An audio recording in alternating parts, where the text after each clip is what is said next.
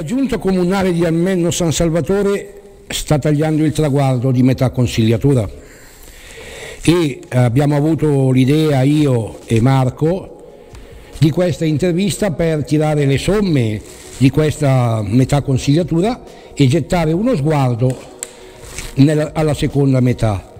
Ringraziamo di cuore la giunta che sta intervenendo al quasi completo, manca infatti il vice sindaco Cristian Scarpellini, però abbiamo presenti sia il sindaco Michele Sarchielli, l'assessore al bilancio Lavinia Cornali, l'assessore alla pubblica istruzione Onorina Carminati e l'assessore allo sport e alle politiche giovanili Paolo Locatelli. Sarà un'intervista molto ampia, toccherà vari temi e vari problemi, ma alla fine se i membri della giunta e il sindaco vorranno comunicare delle cose che a me sono sfuggite, non sono perfetto nemmeno io, sceglieranno loro cosa, comuni, cosa voler comunicare. E l'intervista eh, polgerà su vari temi come ho detto e partiamo con la prima domanda che è proprio per il sindaco. E mi rifaccio all'ultima intervista che avevamo, che avevamo fatto un anno e mezzo fa dove si parlava di due cose che erano programmate e di cui ancora non si vedono le tracce. Parlo della, zona, della promessa zona cani e del restauro della facciata della sede comunale, che mi sembrano cose un po' al palo. Cosa c'è di nuovo e cosa si prospetta su questo argomento? Innanzitutto grazie per l'intervista a Levini News e Umberto Locatelli. Passiamo alla domanda che mi ha fatto Umberto. Allora, è vero, la zona cani, l'area cani l'avevamo promessa, la faremo, Purtroppo la Racani però è vincolata alla vendita eh, degli appartamenti comunali, nel senso allineazioni vuol dire una volta che tu vendi alle risorse per fare l'opera. Sicuramente faremo di tutto per realizzarla nel 2022. Per quanto riguarda la sede comunale, giusto ieri eh, c'erano, erano, erano qui in comune, c'era la sovrintendenza con gli esperti per fare i rilievi sulla facciata Abbiamo partecipato a un bando, sapremo la risposta entro il 31 gennaio 2022 per il contributo di 400.000 euro per fare le facciate. Dunque non siamo al palo, ma siamo in fase avanzata, nel senso se ci ammetteranno al bando sicuramente l'opera verrà fatta. Bene, seconda domanda, siamo quasi a due anni di Covid che ha portato anche nel nostro paese, specialmente all'inizio, tanto dolore tanta paura. Ci puoi fornire un po' di numeri e sull'attività del comune durante questi due anni di Covid? Morti, malati, vaccinati, classi in quarantena e roba del genere. E infine, visto che ne parlavamo prima nel preambolo dell'intervista, so che hai deciso di non mettere l'obbligo di mascherina all'aperto ad Almenno e di questo personalmente ti ringrazio. Beh, ci spieghi anche il, perché della prima e se ci vuoi dare i numeri della seconda. Partiamo con l'obbligo della mascherina. Premetto che la mascherina eh, va messa quando c'è la zona gialla. Noi essendo in zona bianca il sindaco ha la possibilità di fare l'ordinanza ma solo eh, valutando i casi che abbiamo in paese. Dunque anche ieri sera abbiamo fatto una riunione con, eh, con l'ambito e la TS e l'ambito ha, detto, eh, ha, detto che, ha dato la libertà di scelta ai sindaci in poche parole valutando i casi per caso. Per quanto riguarda il Covid, eh, purtroppo non è ancora finita, perché siamo ancora in pandemia. Alcuni dati, eh, 2019 54 decessi, 2020 84 eh, decessi, che è stato l'anno peggiore, e ad oggi siamo a 47 decessi. Dunque, eh, devo dire che dal 2019 al 2020 abbiamo avuto un aumento del 30% di decessi a causa pandemia, mm. anche se non si sa chi è morto per Covid no, in quanto i tamponi non ci sono stati fatti. Esatto. Però eh, attualmente siamo sui 10 casi in paese, mm-hmm. quindi comunque eh, purtroppo c'è coinvolta anche la scuola. Ma dei 10 casi in paese, quanti sono gravi in ospedale o roba del genere o siamo, sono tutti a casa asintomatici o pauci sintomatici? Sono tutti a casa per contatto di caso, dunque non, sono, mm. non c'è nessuno in ospedale. Io leggo molto, io spesso vado sul eh, sito della regione a vedere le vaccinazioni, almeno è un paese leader in Bergamasca per le vaccinazioni. Esatto, noi siamo ad oggi al 90% di vaccinati. E questa è una gran bella cosa. Una cosa importante che, è, che ho notato io, ma penso che l'abbiano notato anche gli altri, di solito nei paesi, non solo dal Meno, ma in tutti i paesi, le asfaltature si fanno sotto le elezioni per avere qualche voto in più perché dicono vediamo che lavorano, magari invece qua si è proceduto in una maniera diversa. Le asfaltature sono incominciate subito e abbiamo visto coinvolte varie vie del paese. So che ce ne sono in programma altre, ci puoi dire quali saranno le zone, magari le vie del paese interessate all'asfaltatura dell'anno prossimo? Allora, ribadisco che siamo a metà mandato e non andiamo a votare, dunque, però l'impegno di questa amministrazione è quella di mettere in ordine le strade comunali, per fine mandato dovrà essere tutte a posto, quantomeno la maggior parte delle vie. Devo dire che è merito anche di questa amministrazione che è stata capace di andare anche in provincia a cercare risorse, oltre che per il semaforo, anche l'asfaltatura delle due strade principali del paese, provinciali, via Valimania e via Pitentino fino ad arrivare al giornalaio, abbiamo asfaltato tutto. Il comune in questi due anni e mezzo ha investito più di 300.000 euro sugli asfalti. La nostra intenzione è di fare un piano ancora per gli anni a seguire di almeno 100.000 euro di asfalti all'anno. Per quanto riguarda le strade non te lo so dire adesso, perché comunque dobbiamo fare ancora la presentazione del bilancio del 2022 e comunque verranno rifatte le strade, primo quelle più ammalorate naturalmente e dove, dove c'è più, più viabilità e poi verranno fatte le altre. Comunque eh, ci teniamo alle strade comunali e verranno fatte, l'impegno è questo. Prossima domanda. Il biglietto da visita del paese per uno che viene da Bergamo è veramente una brutta cosa. Arrivi al ponte di Almenno e vedi quell'autentica schifezza che è il condominio Donadoni. Cioè, lo chiamiamo condominio Donadoni, ma non è l'unico obbrobrio del paese. Si è segnalato varie volte anche il condominio Baldi, e altre cose. Non si può fare qualcosa per rendere anche il biglietto da visita del paese un po' più accattivante per chi ci arriva. Dai, abbiamo delle cose bellissime che sono le nostre tre chiese, arriva qualcuno vede quel, quei mostri lì. Ma l'impegno di questa amministrazione sicuramente, anche in vista del nuovo PGT che andiamo a fare, sarà di risistemare e riordinare un po' il paese per quanto riguarda gli obrobi che hai accennato, il con il primo siamo in Cassazione, dunque siamo legati alla, alle sentenze dello Stato e quant'altro.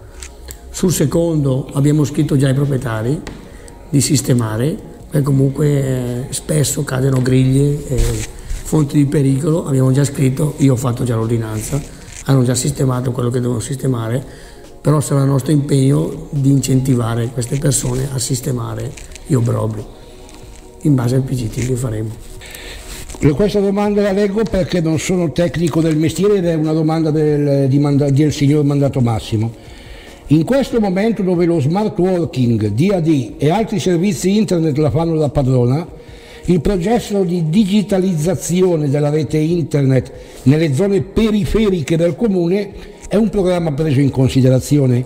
Spiego meglio, sono stati fatti ampliamenti alla rete da parte di Planetel, ricordiamo gli scavi di questa primavera per la posa della fibra, ma in alcuni punti del territorio, tipo primo maggio e ti dico anche eh, quartiere Ronco, dove la fibra si ferma al parcheggio e per chi abita 50 metri dopo non ne ha accesso, ma sicuramente non sarà l'unico, di fatto ho segnalato anche il quartiere Ronco, la Madonna. Mm il servizio non arriva, oppure arriva ma ad un decimo della velocità contrattuale. Vero, ci sarebbe Eolo, ma basta un po' di maltempo o una casa davanti che disturbi e siamo punto da capo. In poche parole, il Comune ha la facoltà di stipulare accordi con le maggiori compagnie telefoniche per avere un aggiornamento non raffazzonato come quello della Planetel? Allora qua, come ho già ribadito l'ultima volta, anche perché ho provato sulla mia pelle io, mi hanno venduto un 100 giga e me ne arrivano 8, tanto per fare un esempio, con la Vodafone. E io ho contattato il responsabile della team anche perché continuano a cambiare questi responsabili, non si capisce mai chi bisogna parlare. E l'impegno del comune anche qua, visto che abbiamo problemi anche in comune, biblioteca e quant'altro, le scuole, adesso col PNR ci sono i bandi, faremo di tutto per portare la fibra dal Menno. Logico che non, non, è, non, è compito, non è solo il compito del comune, loro dicono che almeno, io ho già parlato con un po' di responsabili, non è appetibile. Non è appetibile perché non ci sono aziende, ah. non è appetibile perché, perché in tanti comuni c'è la fibra, sì è vero, però viene pagata per le aziende e poi fanno, eh, dicono che è del comune, ma alla fine viene fatta per le aziende. Però capisci che se l'azienda del comune di San Salvatore, l'azienda più grossa che abbiamo è, è l'Opera Pia, è la Fondazione Rota, e vabbè, ci siamo già capiti, no? Perché negli anni precedenti sono state fatte politiche di non costruire, gli altri sono andati in altri era paesi. Quello, era quello che, di, che, che vi dicevo io, cioè basta ricordarsi che alcune giunte fa il sindaco che c'era all'epoca ha negato alla Fenibrembo la possibilità di avere uno stabilimento ad Almenno, questa era la capacità che aveva la politica di Almenno. Sì, Scusatemi la cattiveria. Ma... Indietro, andiamo indietro 30 anni. Io abito in via Cranezzo, hanno fatto un'area industriale che è sbagliatissima, sì. dove doveva essere dove c'è il campo sportivo, invece l'area sportiva doveva essere fatta in Cranezzo. Perché io sono dell'idea dove c'è un'azienda arrivano, arrivano i gli autotreni, arrivano i bilici e devono avere la viabilità per un bilico. Giusto. Eh, in Cranezzo sappiamo già la strada però l'impegno del comune è di portare la fibra. Riguardo l'affermazione sul, sulla fibra, Umberto, ribadisco che tutto quello che è stato fatto per la fibra ad Almenno è stato realizzato dalla team. E non dalla Planet. E, non dalla Planet. e siamo, eh, siamo, ancora in, contatto con la nuova responsabile per capire come muoverci anche sul PNR se è possibile realizzarlo. Insomma. Dunque, altra domanda, questa invece te la faccio io anche a nome di Mandato Massimo perché è un argomento che da cinque anni rompo le scatole e non è mai successo niente.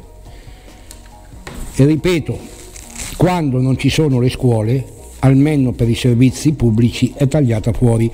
C'è la corsa su, eh, che parte da, da Villa e va a Ponte San Pietro, che è leggermente importante perché mette in comunicazione con la stazione dei treni, con eh, l'ospedale e con le scuole, per esempio, quando ci sono gli esami di maturità, queste cose non ci sono. Io da cinque anni che lo dico e invece eh, cioè, ci, eh, ci, sia, eh, ci siamo sentiti promettere interessamento e roba del genere, però non si vede niente di concreto. Anzi, aggiungo che quest'anno non ci sono al festivo neanche le corse che scendono dalla Vallimagna. Per cui se uno non ha la macchina e volesse andare a Bergamo per visitare la chiesa di Santa Lucia di domenica non può farlo, non c'è nessun servizio pubblico di domenica.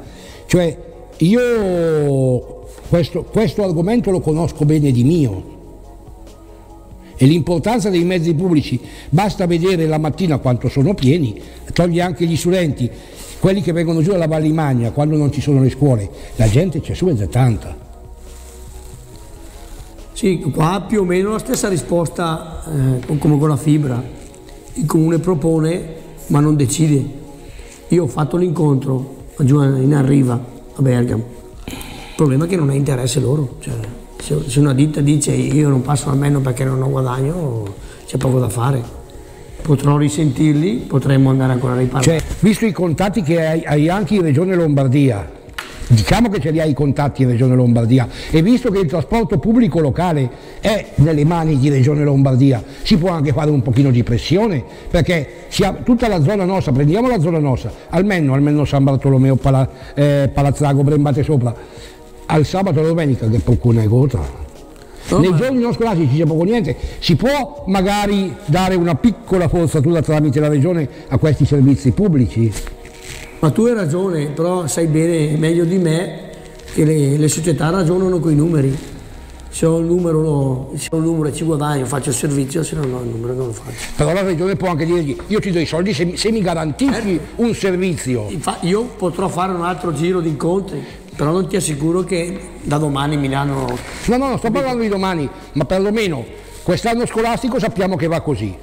Però capisci che il comune non decide, propone. Lo so, lo so, lo so e la proposta può essere accolta come respinta, e come con la, come con la fibra. Arriviamo al punto, punto abbastanza. Ci, devi, ci dovresti spiegare visto che hai detto che la, la raccolta dei rifiuti ingombranti sarà porta a porta senza costi per aggiuntivi per l'utenza, come funzionerà? E già che ci sei evito di farti la seconda domanda sulla pattumiera, quando verranno distribuiti i sacchi, dove, date e orari? La distribuzione dei sacchi verrà fatta il 28, il 29 il 30 di dicembre, 4 e 5 gennaio, abbiamo inserito due giorni in più, dalle 8 del mezzogiorno. Dove? Eh, presso la mensa, dove è sempre stata fatta. A mensa delle scuole medie? Mensa delle scuole medie, sempre lì. Dunque 28, 29, 30, 4 e 5 di gennaio, 8, 12.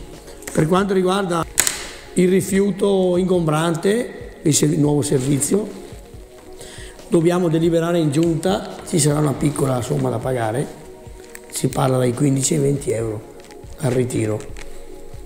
Il servizio partirà da gennaio mm-hmm. e poi tutte le modalità, le prenotazioni verranno spiegate e quando ci sarà la distribuzione dei sacchi verrà inserito un volantino che spiegherà chi chiamare, come prenotarsi, saranno due ritiri mensili ogni, ogni due sabati passeremo a ritirare. Per cui non sarà, come era stato detto, un, uh, senza costi aggiuntivi per l'utente? per gli over 70 e disabili e quant'altro sarà gratuito naturalmente. Ah ecco. Sì. Adesso passiamo alla domanda sulla viabilità in paese. Premesso che io penso che la metà delle patenti del paese andrebbero ritirate perché lasciamo stare. Camminando a piedi vedo la maggior parte che è col cellulare in macchina. Però non posso accettare che quando ti si faccia l'osservazione sulle macchine, sui marciapiedi, tu mi dici la strada è provinciale, perché il marciapiede non è provinciale. Io quando vedo una mamma col passeggino che deve scendere dal marciapiede perché questo è occupato da una macchina, oppure quando alla mattina ci sono degli studenti a prendere il pullman e la macchina si ferma davanti al tabaccaio e il pullman deve passare sull'altra corsia per far salire i ragazzi, a me dà fastidio, perché è anche pericoloso. Cioè io vorrei un po' più di severità sulla viabilità in paese. Poi la zona delle cinque vie è molto particolare, sappiamo tutti che ogni tanto qualche incidente ricapita, moto, macchine, roba del genere.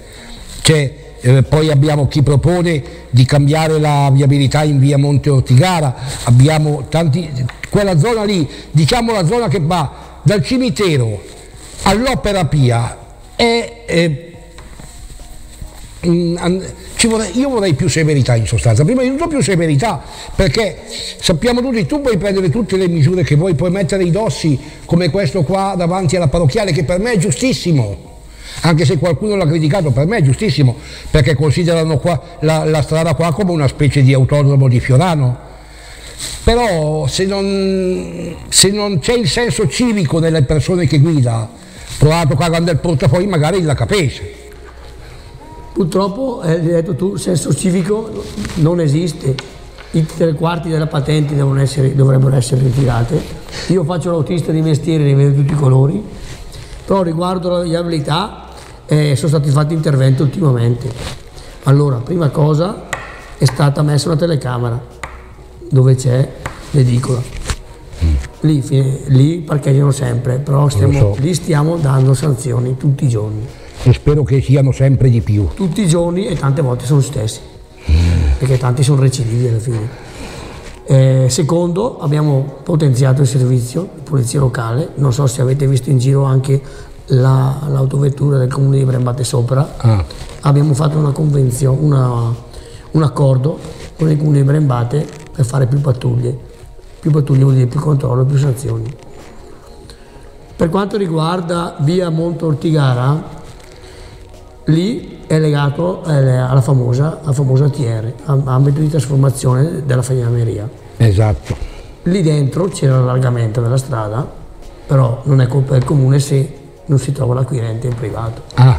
Il problema è quello, perché sì. il comune andrebbe a realizzare parcheggi pubblici, allargamento della strada, spostamento pensiline e quant'altro, perché c'è da sistemare ancora il famoso incrocio. C'è proprio la, tutta la zona lì che è, fam che è, famosa per gli incidenti ad almeno. Anche perché lì siamo in attesa, abbiamo messo il semaforo, ma il semaforo non è la soluzione definitiva.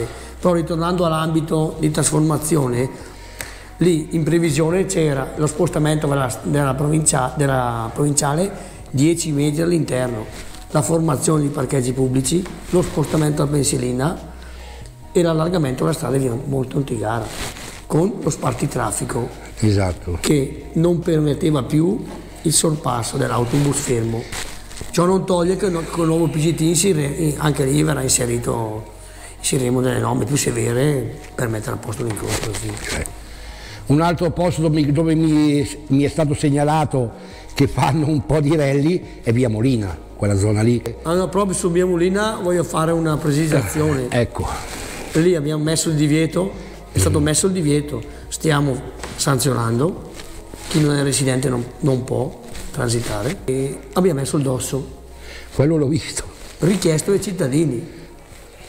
Dunque loro sono contenti, le auto vanno più piano, però logico, eh, stiamo controllando chi passa e chi non dovrebbe passare.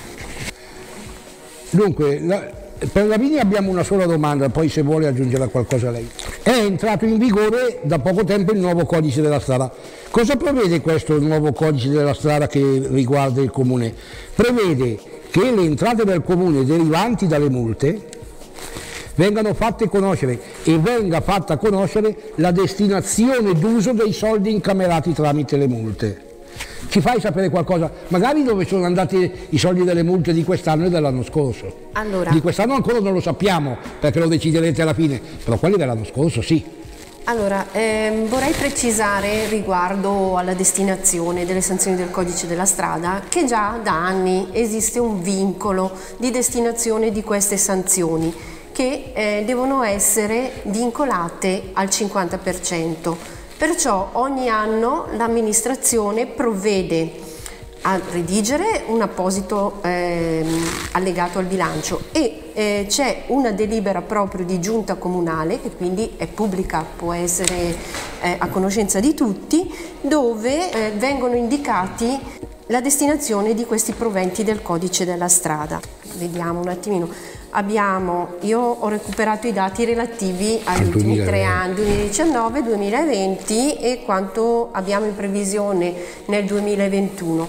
Allora, per quanto riguarda il 2019 sono stati incassati come codice della strada 41 mila euro, quindi la metà di questi sono stati destinati a spese per circolazione e segnaletica stradale e alla manutenzione dell'impianto di illuminazione pubblica. Mm. Nel 2020, anche a causa della pandemia, eh, le sanzioni si sono notevolmente ridotte, quindi abbiamo un incasso di 16.300 euro sul 2020 che sono andati a finanziare fornitura e posa segnaletica per la nuova viabilità in via Cimaer e servizio di formazione segnaletica orizzontale e verticale. Per il 2021 abbiamo una previsione di 20.409 euro allora, di questi posso dire che alla data del 13 dicembre ne abbiamo incassati circa 18.000, quindi le previsioni sono in linea mm -hmm. con quanto l'incassato è in linea con le previsioni.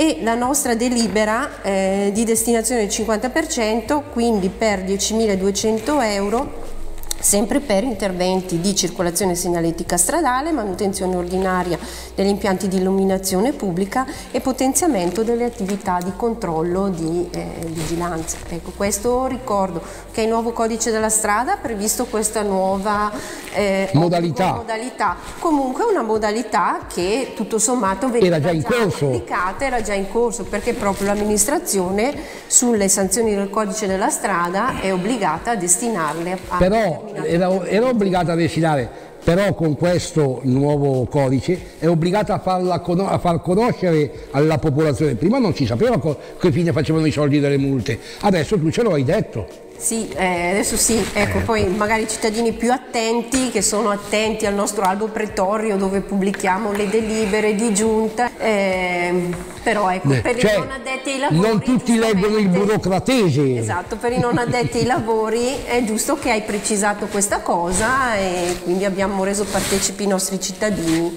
Eh, Assessore Onorina Carminati, prima facciamo una domanda per quanto riguarda il sociale poi per quanto riguarda la scuola. Per quanto riguarda il sociale, in un gruppo Facebook è comparso un post in cui si, si proponeva di ricreare un servizio navetta per gli anziani, visto che oramai tutta la vita sociale del comune in questo comune si svolge più o meno in zona 5 vie dagli studi medici alla farmacia, tutto il resto, di organizzare un servizio navetta per gli anziani che vivono un po' nelle periferie del paese. Io non so se sarebbe una cosa giusta da fare o no, però penso che avendo visto che la fanno anche alcuni paesi limitrofi molto più decentrati di noi, che hanno proprio un servizio navetta dall'Albenza alle Cascine in La Porta in centro, non sarebbe una cosa giusta da fare per i nostri anziani anche ad Almeno? In realtà noi avevamo già pensato alla possibilità di un trasporto per gli anziani. E purtroppo la pandemia ci ha bloccato perché non si possono fare assembramenti, non si può salire in macchina in due o tre persone, dato che non disponiamo di pulmino ma eh, di un doblò, infatti perché poi nostra idea è anche di coinvolgere l'Auser che ha anche appena acquistato un'altra auto e poi studieremo anche come fare per poter far accedere le persone in caso di eh, partecipazioni perché certo non è che possiamo mettere le macchine e farle viaggiare su e giù per il paese eh, bisognerà vedere il bisogno che ci sarà e organizzare poi eventualmente la macchina. È un conto avere un pulmino dove si, pos si possono salire, possono salire 5, 6, 7, 8, 10 persone, allora lo si fa viaggiare, ma con l'auto rischiamo anche di fare i viaggi a vuoto, perciò va un attimino anche studiata guardando poi le esigenze che ci saranno in paese. Comunque nel prossimo futuro dalla nostra amministrazione è prevista un'iniziativa un come questa. La domanda sulle scuole è un po' più ampia. Ci è sempre stato detto che la maggior parte del bilancio del comune di Almeno San Salvatore era incentrato sulle scuole. Benissimo, una cosa che io approvo totalmente perché se c'è una cosa che va guardata è la scuola in un comune. Vorrei sapere si, eh, che interventi si sono stati fatti e quali si faranno nello specifico, sia da un punto di vista dell'edificio in quanto tale, sia da un punto di vista di piano studio. Per quanto riguarda le scuole premetto una cosa, purtroppo non è la spesa più eccessiva del nostro bilancio perché grazie al nostro sindaco che va a cercare contributi eh, riusciamo a eh, realizzare le opere senza intaccare troppo il comune perché la spesa più grossa del nostro comune sono i servizi sociali che ci porta via gran parte del, del nostro bilancio. E allora io parlo di quello che abbiamo speso sulla struttura dell'edificio di quest'anno e del piano di tutto lo studio, poi lascio al sindaco le varie iniziative molto onerose alla scuola. Allora noi quest'anno abbiamo già speso 330 mila euro per gli edifici scolastici 70.000 euro per quanto riguarda l'adeguamento e la messa in sicurezza ed efficientamento energetico dell'impianto di riscaldamento del plesso scolastico e un totale di 260.000 euro per la, lavori di messa in sicurezza degli edifici scolastici. Perciò quest'anno abbiamo già speso 330.000 euro. È una spesa sicuramente che eh, ci teniamo perché la scuola, eh, un ragazzo che va a scuola deve andare in piena sicurezza, deve essere sicuro e tranquillo sia loro che le famiglie. Io adesso descrivo un attimo il piano diritto allo studio che praticamente è quello che l'amministrazione dà e i servizi che noi diamo alle, alle scuole. Per quanto riguarda il, ehm, la scuola materna, noi contribuiamo con 40 euro mensile ad ogni famiglia per l'abbattimento della, della quota. Certo, potremmo fare anche di più, però è un, comunque una, una, spesa che eh, siamo intorno alle 60-70 mila euro e per noi è già fonte di un, eh, un impegno di un sostanzioso. Bel, di un bel impegno, esatto. Poi per quanto riguarda la scuola eh, media, che, eh, media ed elementare, che per due anni purtroppo dico purtroppo perché causa Covid sono rimaste chiuse gran parte del periodo, perciò diciamo non abbiamo potuto eh, dedicargli più di tot per quanto riguarda i progetti e hanno principalmente optato per la didattica ed è giusto che sia così quest'anno siamo riusciti a riprendere un po' un, eh, un attimo nuovamente quello che avevamo lasciato due anni fa. Abbiamo dato 7.350 euro per la scuola primaria per quanto riguarda i loro progetti e 7.500 per i progetti della scuola secondaria, mentre per il funzionamento del dell'istituto comprensivo diamo 5.000 euro e 500 euro per il fondo spese per quanto riguarda sicurezza e pronto soccorso. Abbiamo già una mensa che funziona benissimo perché eh, abbiamo avuto ieri eh, due, due, classi della quinta elementare che sono venuti a visitare il comune. Ho chiesto chi andava in mensa se si trovavano bene, mi hanno detto sì, sono contenti della, della mensa che abbiamo. E infatti per quanto riguarda la mensa quest'anno è partito in via sperimentale il progetto anche sulle scuole medie. Purtroppo la capienza momentaneamente l'aula mensa non riesce a coprire l'intero plesso scolastico che parliamo circa di 500 ragazzi. Noi diamo eh, la settimana a tutti i ragazzi della scuola elementare e copriamo tutto il servizio. Per la scuola media allora abbiamo fatto il martedì, il giovedì e venerdì per eh, le famiglie di cui hanno bisogno i ragazzi di fermarsi a mensa e non hanno attività scolastiche pomeridiane, mentre abbiamo aperto anche il lunedì e il mercoledì solo ai ragazzi eh, che frequentano i progetti che ci sono nella scuola media o eh, che partecipano all'aiuto compiti eh, quest'anno abbiamo avuto comunque un buon numero. C'è sempre il servizio post e prescuola che quest'anno è ripartito eh, nuovamente, Bene. fortunatamente mi viene da dire. Eh, acquistiamo sempre i libri per quanto riguarda la prima media, che quest'anno abbiamo scelto il libro di scienze che è il libro più caro e l'abbiamo eh, pagato noi come amministrazione. Quello che pesa tra virgolette, perché è secondo me comunque un aiuto eh, concreto che andiamo a fare, l'assistenza educativa scolastica. Abbiamo 26 ragazzi di cui hanno bisogno di educatori e la spesa che qui andiamo ad affrontare è di 240 mila euro. È una spesa che eh, pesa ma eh, diciamo ci vuole per i ragazzi un po' meno fortunati e per, eh, per i ragazzi di cui necessitano di, di questo servizio. Abbiamo le borse di studio che sono state mantenute. Quello l'ho visto, è stato pubblicato anche sull'Eco di Bergamo. Esatto, che abbiamo giusto consegnato venerdì scorso poi abbiamo inserito i nostri progetti comunali, la vigilanza con, con, i, con i, vigili, l'educazione stradale, quest'anno abbiamo inserito anche l'educazione alla droga e all'alcol con la partecipazione di un cane eh, addestrato che verrà fatto in, nelle scuole eh, abbiamo inserito per la prima volta una visita culturale al binario 21 a Milano, Milano la stazione. che pochi conoscono. Secondo me è un buon, eh, per i ragazzi vanno a toccare con mano un pezzettino di realtà che... Si eh, sperano ritorni. E speriamo, speriamo che non ritorni veramente. Aggiungo a quello che ha riportato l'assessore Carminati sulle scuole. Sul sociale, prima cosa, andremo a sistemare il centro di aggregazione giovanile Casa del Sorriso per disabili. Un intervento a 30.000 euro, partiranno i lavori a breve.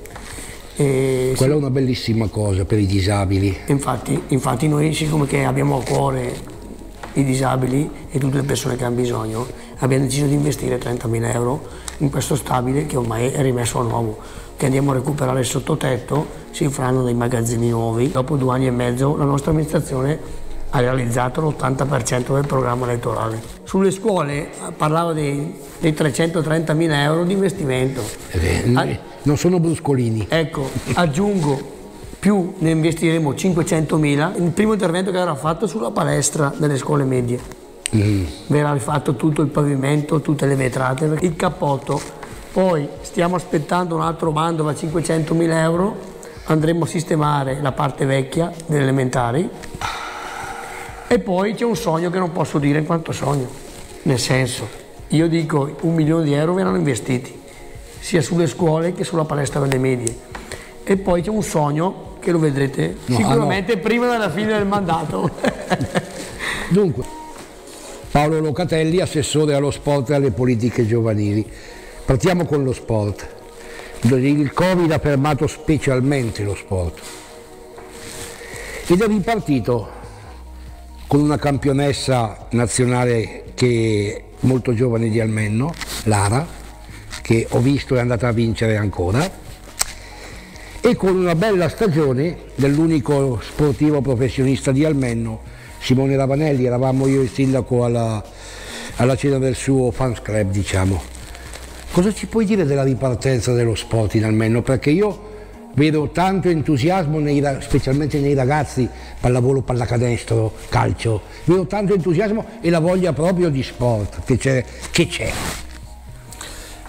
Allora, diciamo subito che eh, in questi ultimi due anni lo sport ha avuto una grande sofferenza per tutto quello che sappiamo. È stato massacrato. È stato massacrato e la ripartenza di settembre eh, pensavamo che fosse un pochino più energica, invece purtroppo lo sport sta ancora soffrendo. Eh, ci sono addirittura realtà che stanno chiudendo e che lavorano al 30-40%. Ecco, diciamo che l'80% delle realtà, ma non solo almeno, come hai detto tu prima, eh, siamo appena tornati da Catania eh, per un campionato italiano e calcolando che un campionato italiano dove c'erano 5, 600, 700 atleti con 100, 150 società eravamo la metà e parlando con tutti i colleghi sono tutti sulla stessa barca, cioè stanno lavorando tutti al 50-60% delle potenzialità. Purtroppo eh, almeno non è escluso da questa realtà, quindi molte società stanno soffrendo, ci sono società che magari non hanno avuto questa sofferenza e lavorano ancora con i numeri pieni, ma purtroppo un po' di sofferenza c'è e non finirà chiaramente con gennaio, marzo, aprile, si spera con l'anno, con l'anno 21, 2022, con la nuova stagione. Bisogna tenere duro fino, fino, alla prossima stagione, credo che questa sia la prerogativa di tenere duro fino alla prossima stagione, settembre 2022. E una cosa ci tenevo a dire che abbiamo notato che la stragrande maggioranza di chi è assente nello sport sono i ragazzi e la fetta dei giovani dai 12 ai 18 anni. Lì c'è stata una perdita eh, pazzesca. Vuoi perché le scuole ancora non sono a pieno regime, quindi i ragazzi entrano alle 10, escono alle 5, fanno fatica, non ci sono i mezzi pubblici che arrivano nelle nostre valli, la sa- voi perché ancora molti genitori non hanno vaccinato i ragazzi dai 12 ai 18 anni, dove si è avuto la mancanza dei giovani nello sport proprio dai 12 ai 18 anni? E chiaramente questo porterà poi anche delle conseguenze più avanti, perché lì ci sarà un buco quando arriveranno i cadetti, juniores, seniores e si sposterà tutto e ci saranno delle problematiche anche per le società, soprattutto per quelli che hanno le squadre per gli sport di squadra.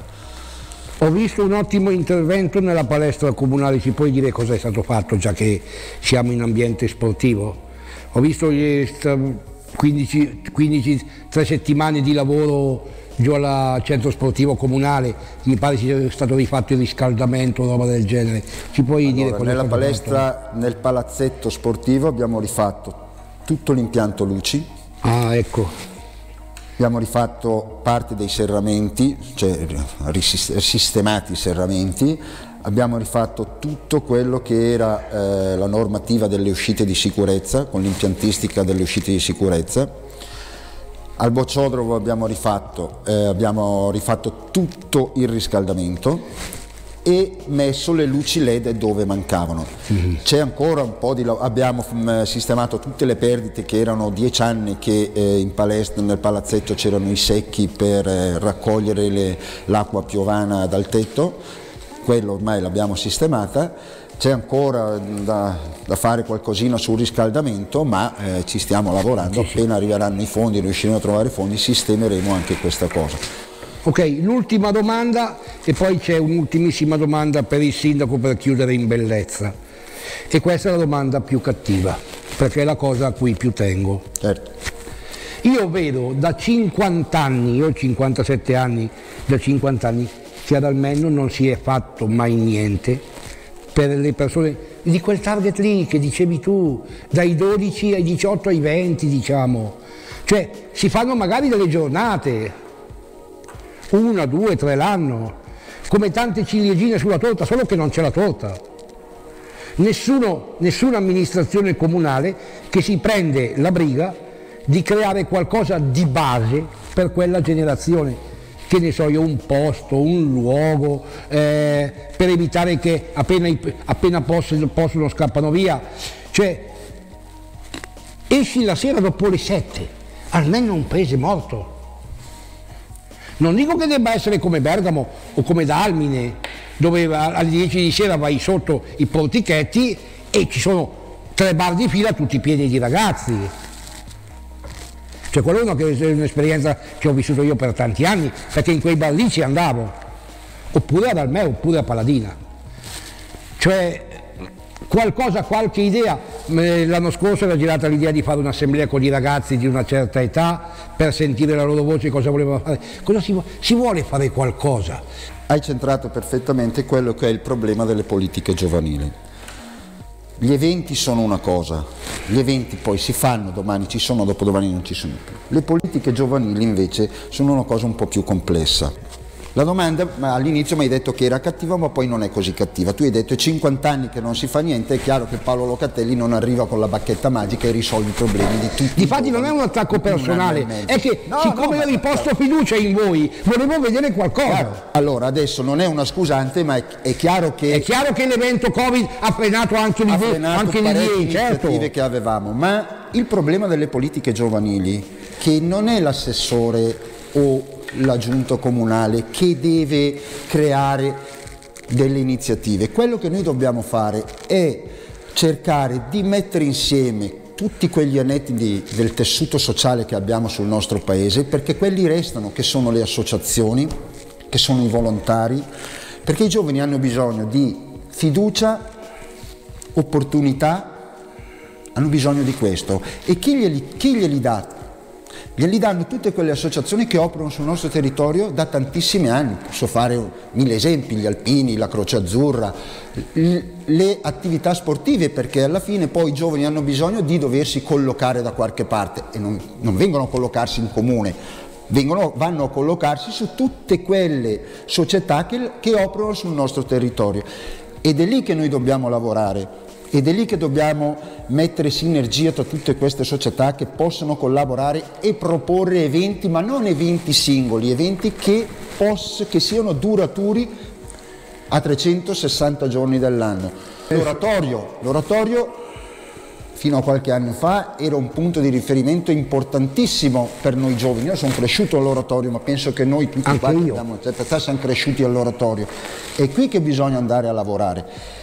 Ora noi stiamo facendo degli incontri sia con le società sportive, con, con gli enti, con gli alpini, con la Croce Azzurra, con l'oratorio, proprio per creare questa sinergia sul nostro territorio. Secondo me è una base sbagliata questo, perché ci si aspetta che altri facciano qualcosa. Io invece penso, da questo punto di vista, che devono essere i giovani stessi a fare, non le associazioni di over 40 fare qual- perché no. se, aspetti, se, si aspetta quello Infatti. prima di tutto io l'anno scorso quando il signor sindaco mi aveva detto faremo un'assemblea con i ragazzi di 18 anni li chiamiamo e li ecco. sentiamo per capire cosa vogliono loro non cosa vuole la Croce Rossa ma la no, Croce vedete, vedete, vedete, che è, è questo il problema che spesso non capiamo quali sono le politiche giovanili non è che io ho detto che cosa vuole la Croce Rossa o cosa vuole, sono dei punti di riferimento dove certo. i giovani possono collocarsi. Non è creando una piscina che tu farai contenti i giovani di almeno San Salvatore,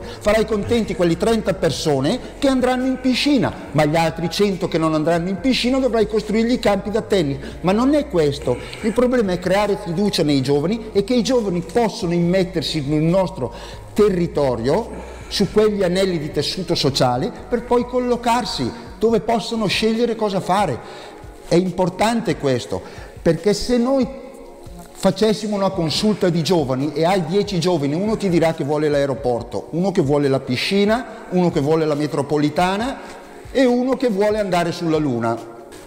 Devi creare delle situazioni dove i giovani si possono collocare. È certo che poi devi chiamare i giovani e capire, e capire dove poter lavorare con loro. È chiaro che poi devi lavorare, quando ho detto prima, con queste realtà sul territorio, perché le realtà sul territorio sono fatte di persone ed è qui la difficoltà a volte a far capire alle persone che gestiscono certe realtà che devono coinvolgere i giovani e devono dare spazio ai giovani, perché nel momento in cui non coinvolgeremo i giovani sul nostro territorio, molte realtà del nostro territorio spariranno.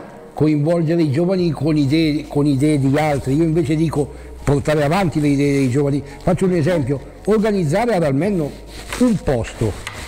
Non dico come le Donè di Bergamo, perché almeno è piccola rispetto a Bergamo, però sulla falsa riga di quello, ad almeno abbiamo un posto, che è la zona del mercato, che tolto il sabato mattina, a cosa serve? Allora, a solo allora, parcheggio? Non si può organizzare allora, quella cosa Parliamo modo... di eventi o parliamo di politiche giovanili? Una, una politica diverse. giovanile, le donne non è un evento, è quotidiano le donne a Bergamo e ci vanno tutti. Cioè... Eh, ma, è certo, ma ma non è che lo puoi costruire in due giorni. Lo so, è quello, cioè, ma bisogna poi partire. Che, allora abbiamo anche messo a disposizione per il 2022 un bel po' di soldi per costruire determinati eventi, ma eventi che devono rimanere nel tempo.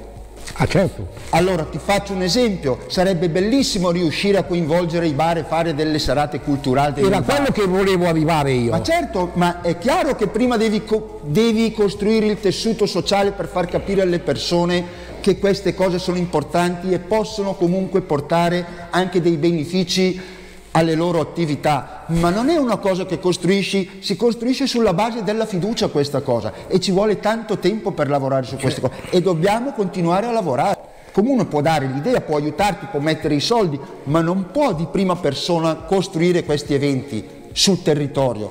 Quindi abbiamo so, avuto so, bisogno e di fatti abbiamo fatto una collaborazione con la Proloco degli Almenno, che adesso si chiama così, eh, dico bene sindaco. Ok?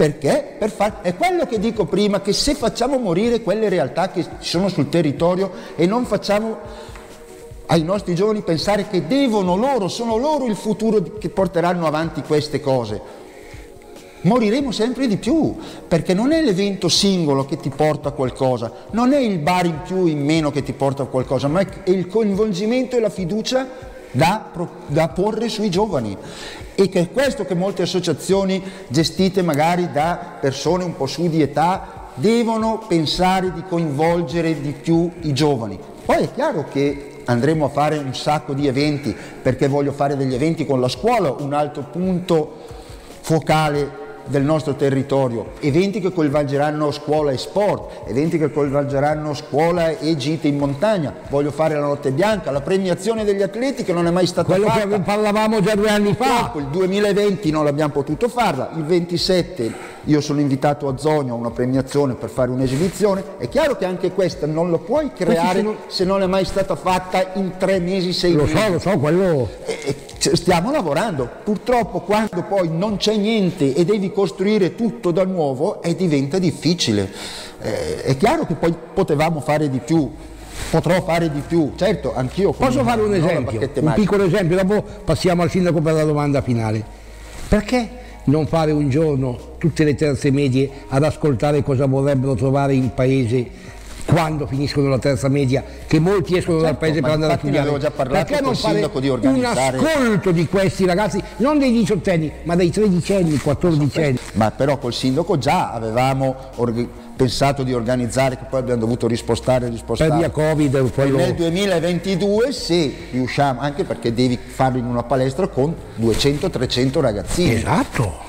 E la prima cosa che andremo a fare appena si aprirà, si potrà fare, sarà proprio quella di ascoltare i giovani di varie fasce d'età al palazzetto dove sarà. 2023, Bergamo e Brescia capitali della cultura. Almeno può entrare nel giro di quest'anno particolare che si preannuncia per le nostre due province, visto che di cultura qua ad Almeno ne abbiamo abbastanza tanta e anche di storia per cui penso che possa entrarci in questo anno particolarissimo. Assolutamente sì, ci stiamo già pensando, però qui a questo bando alla cultura parteciperà il comune con la Fondazione Lemini. Ah, ecco, benissimo. Perché abbiamo già fatto un incontro anche con, con Gori, con il comune di Bergamo, che siamo entrati nel livello gestirà il comune di Bergamo, però ci saranno varie realtà, dunque eh, a, questo, a, a, questa iniziativa parteciperà, parteciperanno i due, due almenni con la Fondazione Lemini.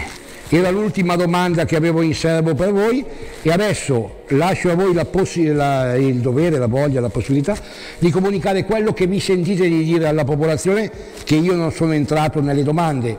Sindaco, assessore, assessore, assessore, prego. Allora, prima di arrivare alle conclusioni e agli auguri, volevo precisare sui giovani. Sono in contatto con Don Lorenzo. A breve faremo una riunione ancora per ripartire su cosa vogliono i giovani. Cioè, anche con l'assessore abbiamo parlato, però sono i giovani che devono darti l'idea.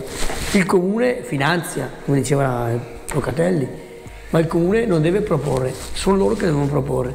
Però più di una volta gli ho detto cosa volete, non hanno idee i giovani. Cioè difficilmente uno ti dice cosa vuole fare. Ti dicono dammi i soldi che faccio la festa. C'è uno per esempio mi dice dammi 10.000 euro, no non funziona così, non devi dire che festa vuoi fare e noi lo organizziamo non funziona, quello ecco, lo so che non funziona. Capito? È una per quello che io voglio rifare il giro di riunioni su questi argomenti, per i giovani.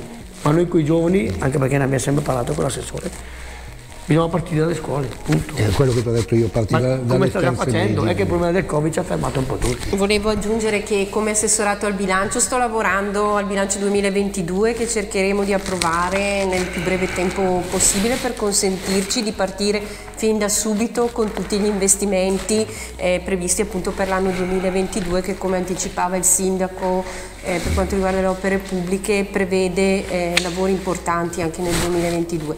Poi un'altra cosa a cui tenevo molto a sottolineare dal punto di vista del commercio, invece eh, la pandemia purtroppo lo scorso anno ci ha fatto mancare anche la sagra della Madonna Candelora. Per quanto riguarda la Candelora voglio dire che è molto importante, dal, prima, soprattutto, prima di tutto dal punto di vista religioso per, per il nostro territorio, ma è molto importante anche dal punto di vista commerciale, appunto per tutto il contorno di bancarelle storiche che ci sono sempre state. E stiamo lavorando appunto per la Candelora 2022 che verrà proposta in modo diverso, con una dislocazione diversa. E avremo degli spazi a disposizione anche per le nostre associazioni comunali che volessero venire, anzi anticipo già fin da ora l'invito, alcune le ho già contattate, che volessero partecipare per proporre appunto le loro attività. E abbiamo anche degli spazi a disposizione delle nostre attività commerciali e artigianali locali di almeno San Salvatore che volessero venire ad esporre i loro prodotti. Grazie. Volevo dire un paio di cose riguardo ai servizi sociali e alla cultura. Per quanto riguarda i servizi sociali eh, vedo che purtroppo eh, abbiamo fatto pubblicità ma non è arrivato molto il servizio dell'ostetrica a domicilio che è una bella opportunità per le neomamme che hanno appena avuto il piccolo eh, e che sono uscite dall'ospedale, visto che è un servizio totalmente gratuito e si trova in via Zuccala dove abbiamo dato l'opportunità di fare questo servizio in una sala dell'ex giudice di pace. Invito tutti quanti che ne avessero necessità, vista l'opportunità, di rivolgersi all'ufficio servizio sociale del comune di Almeno San Salvatore. Inoltre quest'anno è ripartito, dopo due anni di fermo, lo spazio gioco. È ripartito eh, con numeri purtroppo limitati perché siamo a sette per turno, due, eh, due mattine la settimana e anticipo che si partirà con la terza mattinata da gennaio. Eh, ci auguriamo di tenerlo sempre aperto e di cercare di aumentare il gruppo appena c'è possibile. L'altra iniziativa che devo dire che funziona molto bene è il caffè sociale. Doveva partire due anni fa ma poi è stato chiuso per la pandemia, adesso è ripartito grazie anche alla signora Spangaro che è presidente del centro anziani del nostro comune e siamo arrivati ora a 11 partecipanti. E piace molto e stiamo poi cercando di coinvolgere eh, commercianti, arriveremo poi anche a loro per spiegare un po' l'attività in modo di riuscire a tenerlo aperto perché è un, un aiuto veramente valido per eh, le persone sole, eh, autosufficienti mm, quasi autosufficienti comunque che possono partecipare. Il comune ci sta mettendo eh, di proprio l'utilizzo della, della nostra macchina che va a prendere a domicilio grazie ai nostri volontari e li, poi li, li riportano li riportano a casa loro. È coinvolto anche l'Auser, che anche loro ci mettono la macchina, gli alpini, che sempre eh, sono dovunque, dove c'è bisogno noi li troviamo e li ringraziamo molto, come ringraziamo tutti i volontari che partecipano, e anche l'ACLI e la San Vincenzo. Poi volevo spendere due parole per quanto riguarda anche la cultura perché anche se abbiamo avuto un periodo di fermo, ma la nostra biblioteca è sempre stata in attivo. In periodo di fermo ha eh, contribuito a portare a casa i libri da leggere alle persone e abbiamo avuto eh, 444 prestiti fatti a domicilio, perciò vuol dire che è una biblioteca che funziona molto bene.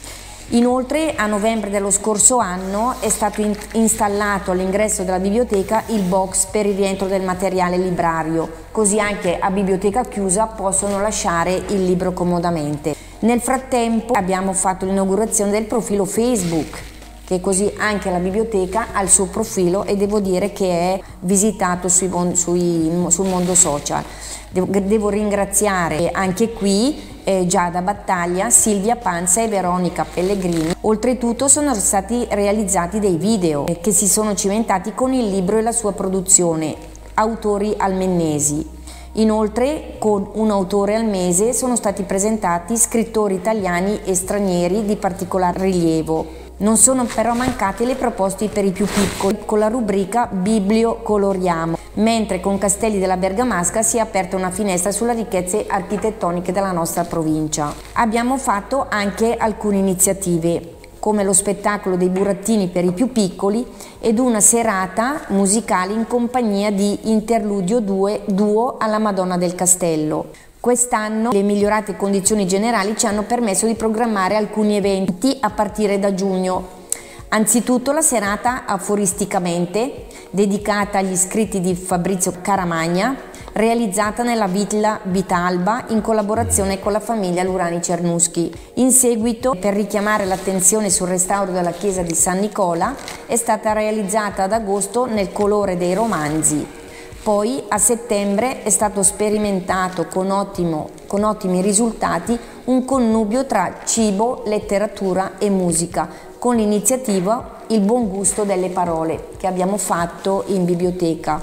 Inoltre abbiamo fatto anche il caffè, la pausa caffè siamo riusciti a, eh, a, realizzare la mostra del libro, che anche qui dopo mm-hmm. due anni che è stata ferma, l'abbiamo realizzata in biblioteca e devo dire che ha avuto eh, molto successo, è stata apprezzata da tanti nostri concittadini.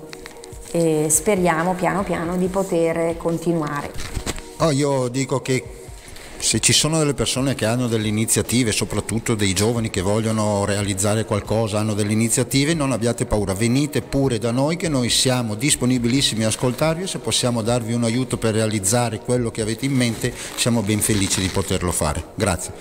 Io voglio ringraziare, penso a nome anche di Marco Pessina che è il regista occulto di questa intervista, l'amministrazione comunale il sindaco, per eh, la considerazione che hanno dei nostri due gruppi, almeno San Salvatore nel cuore e le Mine News, della, della collaborazione che hanno con noi e dell'accettare anche qualche critica perché la perfezione non è neanche del sindaco. È stato un confronto franco, sono contento di questa intervista e lascio al sindaco la chiusura. Ma anch'io ringrazio voi, ringrazio le Mine News e la persona di Marco e Umberto Locatelli per la pagina Meno Salvatore nel Cuore. Noi siamo sempre disponibili, anche le critiche, giustamente come diceva Umberto, però la critica deve essere sempre costruttiva. perché se una critica deve essere politica o tanto per criticare non va bene, anche perché tu, io e tutti i miei collaboratori siamo sempre disponibili e sempre in mezzo alla gente. Grazie per l'intervista, alla prossima.